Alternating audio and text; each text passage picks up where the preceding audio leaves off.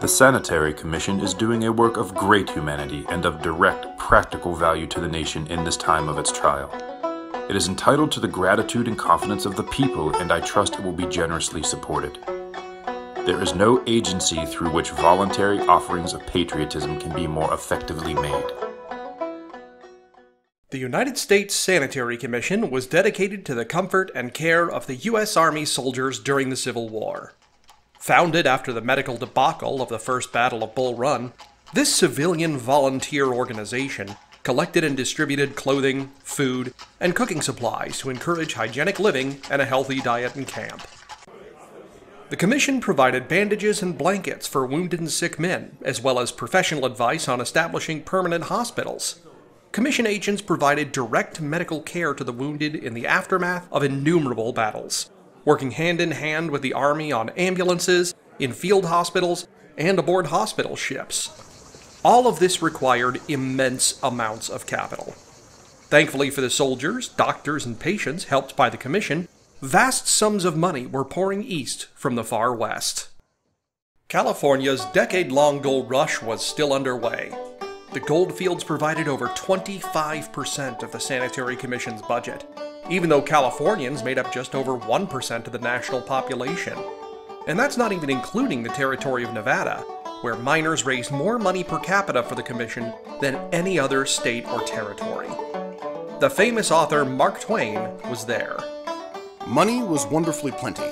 The trouble was not how to get it, but how to spend it, how to lavish it. Get rid of it, squander it.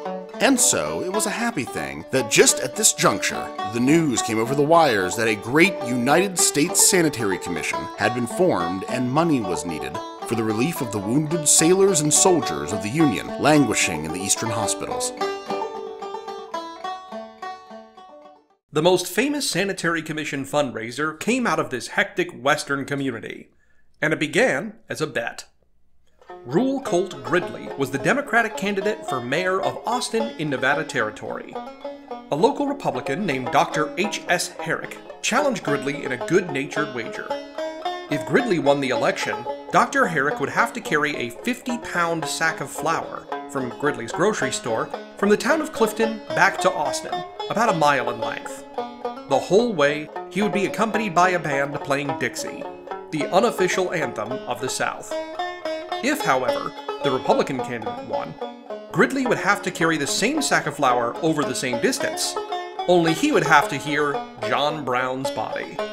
Gridley lost, and his defeat was turned into a good natured public spectacle.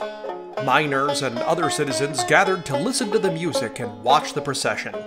When he reached his destination, Gridley and the crowd didn't seem to know what to do. Mark Twain, a former schoolmate of Gridley, later recalled the event. Gridley said he did not need the flour and asked what the people thought he had better do with it. A voice said, Sell it to the highest bidder for the benefit of the sanitary fund.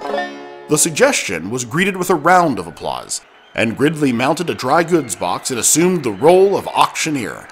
The bids went higher and higher as the sympathies of the pioneers awoke and expanded, till at last the sack was knocked down to a millman at $250 and his check taken.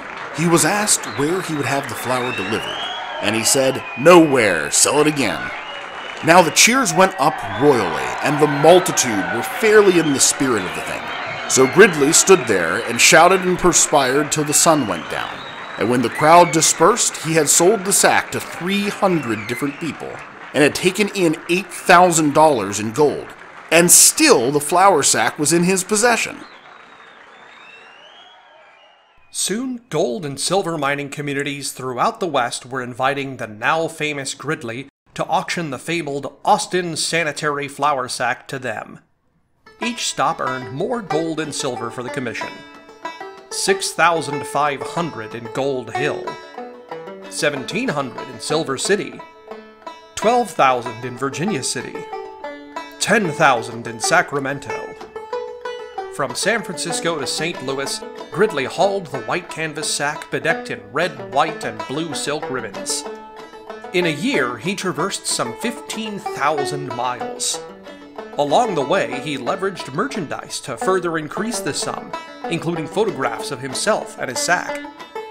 At last, when he arrived in St. Louis at the Grand Western Sanitary Fair, Gridley cooked the flour into bread and sold each loaf.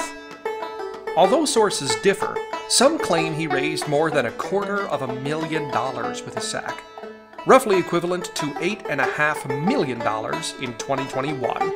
In the spirit of the Austin Sanitary Flour Sack, we here at the National Museum of Civil War Medicine invite you to join in this tradition of generosity.